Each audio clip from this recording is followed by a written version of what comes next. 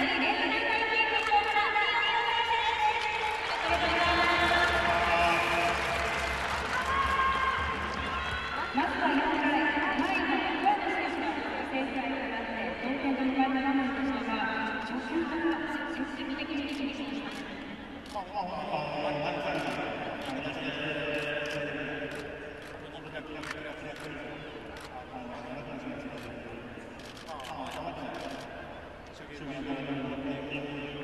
そ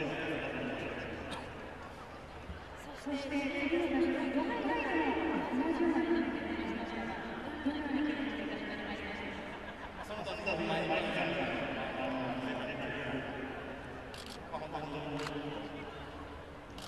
で始まりましたでしょうか。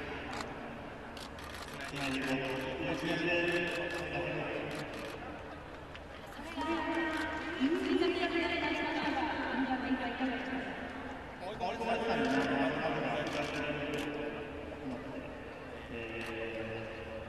しました。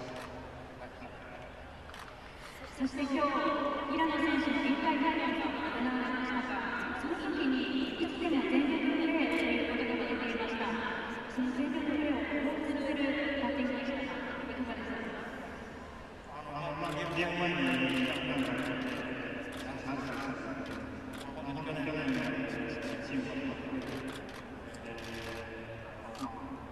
残念です。し、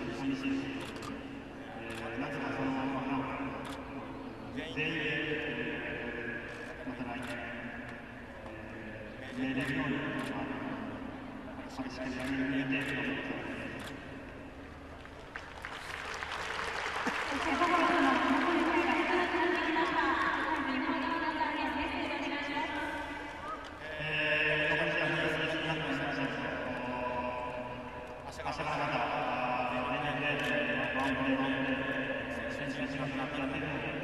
後まで応援よろしくお願いします。